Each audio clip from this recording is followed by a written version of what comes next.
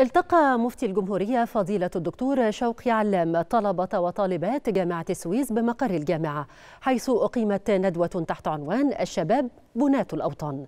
تناول مفتي الجمهورية خلال الندوة أهمية دور الشباب في التاريخ الإسلامي. موضحا أن الدعوة قامت على أكتاف الشباب حيث أدار مفتي الجمهورية حوارا مع الشباب وأجاب خلاله عن أسئلتهم. معربا عن سعادته بمستوى شغفهم بالمعرفة. وكان في استقبال مفتي الجمهورية لدى وصوله محافظة السويس رئيس جامعة السويس الدكتور سيد عبد العظيم الشرقاوي ومحافظ السويس عبد المجيد صقر.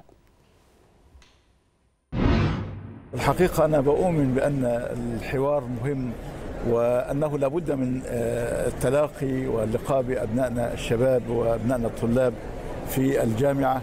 لأن بلا شك هذه اللقاءات بتجيب الكثير من الفوارق فيما بين المحاور والمحاور أو الذي يتلقى. بنحتاج إلى هذا التواصل. الأسئلة كلها كانت مهمة في الحقيقة للغاية وهي تنبئ عن عقلية مصرية يعني شغوفة بالمعرفة.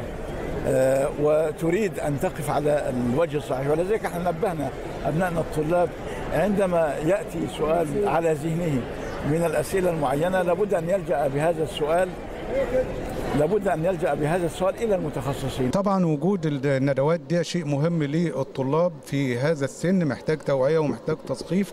جامعة السويس يمكن السنة دي زي السنوات اللي فاتت يمكن شهر أكتوبر اللي فات شهد احتفالات أكتوبر في جامعة السويس وفي هذا المكان وكان عندنا الدكتور وسيم السيسي والأستاذ عبد مباشر عبد مباشر ومجموعة من النقاد والكتاب عشان يعرفوا الشباب بحرب أكتوبر لأن هم ما حضروش مجرد عملية سماع.